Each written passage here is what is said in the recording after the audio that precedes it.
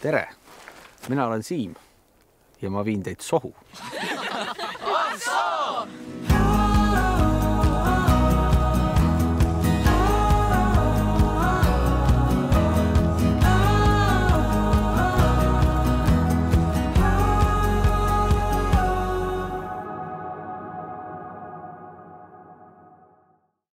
turvas pandi loomadele alla, lehmadele.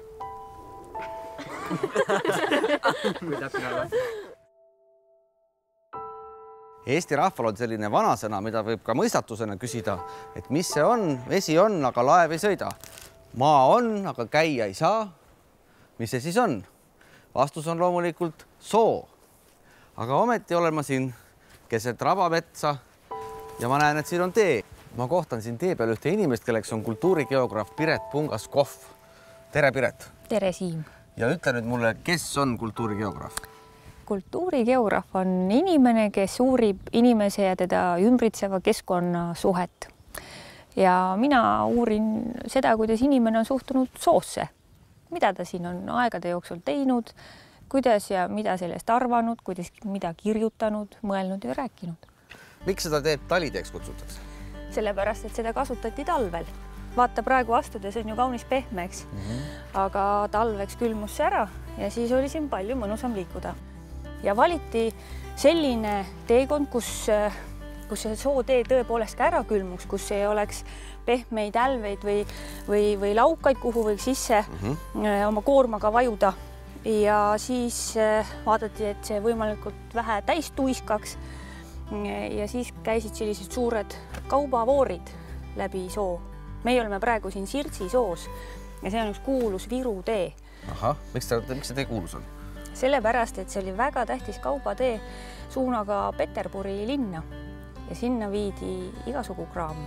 no mis kraami nad siit sinna Peterburi siis viisid? no kõige põnevam on ilmselt see viinakraam, mille abil rikastus nii mõnigi mõisnik Eestis, ma arvan, ja ilmselt on nii mõnigi viinavaat siin Aha. peidus veel soos. Aga tänapäeval seda teed pidi paistab, keegi enam eriti väga ei käi. enam ei käida jah äh, jäljed küll veel on näha, aga äh, kasutati äh, või nüüd kasutatakse pigem raudteed ja ausalt öeldes, kui raudteevõrk Eestis päevavalgust nägi, siis hakkasid ka taliteed ja nende osatähtsus kaduma. aga ma arvan, et seda teed kasutati päris palju Teise maailmasõja ajal viimati, mil inimesed pagesid siia Sirtsi sohu sõja eest pakku või elasid siin Soosaartel mõnedki metsavennad. see oli natuke nagu salatee siis ka? natuke nagu salatee oli ka. aga loodus on seda teed eh, ikkagi kuidagi alles hoidnud, et, et ta ju paistab siit hästi välja, et kuidas see siis niimoodi on? eks soos püsivad ju jäljed kaua ja kui me vaatame praegu kasvõi orto või aerofotot, siis on tegelikult siiamaani päris hästi näha, kuidas see kunagine Viru tee läbi Sirtsi soo kulgeb oleme jõudnud Sirtsi soo teise serva, aga tee kõrval jookseb nüüd üks imelik vall. mis äh, vall see selline on? see on masinatega kokku lükatud äh, suur turbaaun. inimestel läks vaja turvast. aga kui ta masinatega tehtud, siis on see ikka ära tunda, et inimeste kätetöö. aga teine variant on teha seda kõike veel labidatega ja hoopis väiksemas skaalas ja siis on seda vahel looduses päris raske ära tunda, et inimese käsi on mängus. aga milleks siit neid turbaunasid siis kasutati? seda kasutati peamiselt eh, loomadele allapanemiseks. et sageli arvatakse, et küllap sellest tehti ainult eh, kütet uh. -huh. aga tegelikult läks seda eelkõige laudas vaja. me oleme nüüd teisel pool seda turbaauna ja siin on üks inimese jälg soos, mis on vähemalt kolmkümmend aastat vana, aga pole ikka ära kadunud jah, me oleme maha jäetud äh, freesturba väljal, Palasi turbaväli. Äh, ja siin on selle inimtegevuse jälg päris tugev ja valus, sest nagu sa näed, kolmekümne aasta jooksul pole siia praktiliselt mitte mingeid taimi peale kasvanud. ja oma soode taastamise projekti jooksul me väga tahaksime neid jälgi küll leevendada. Aga see ei ole ainus jälg.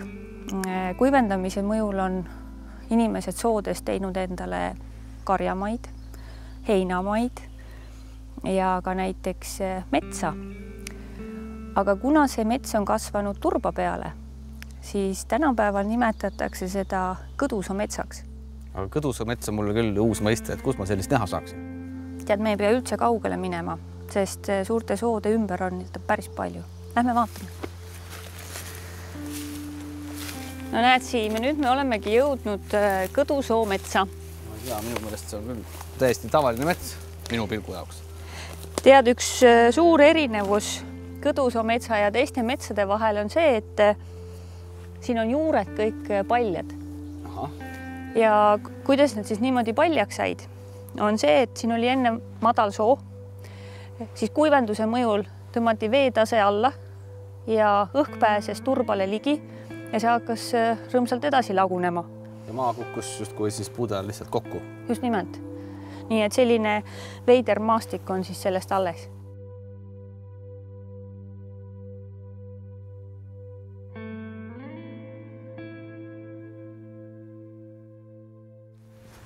leidsime siit Lauka servalt mätta pealt mingid marjad, mullused jõhvikud, mulle tundub.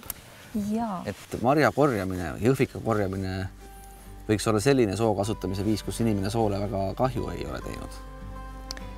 kindlasti, ma arvan, neid marju, eelkõige siis jõhvikaid, joovikaid, murrakaid, vist on korjatud toidu kõrvaseks küll aegade algusest.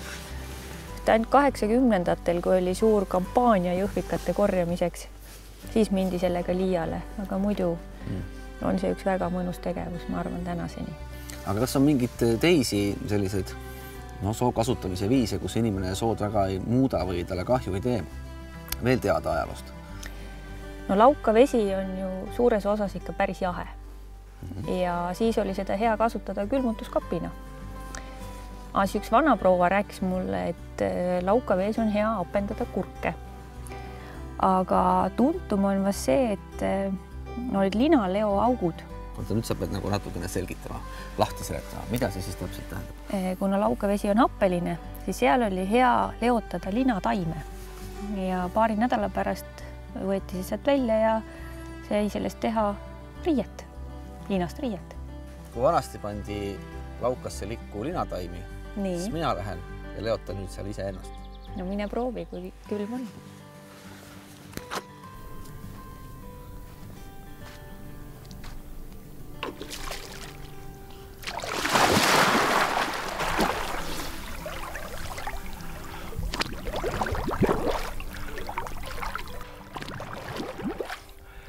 laukas on tegelikult päris mõnus ujuda.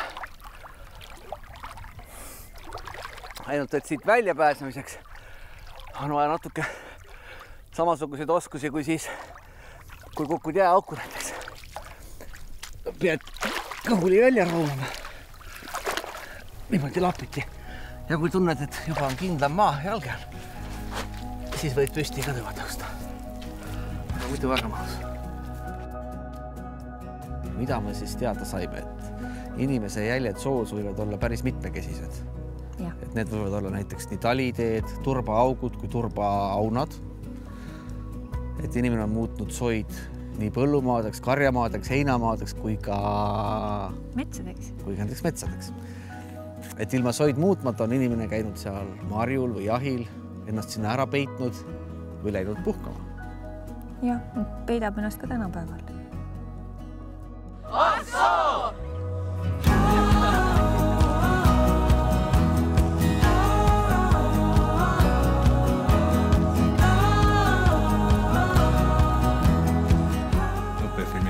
toetas Euroopa Liidu LIFE programm ja Keskkonnainvesteeringute Keskus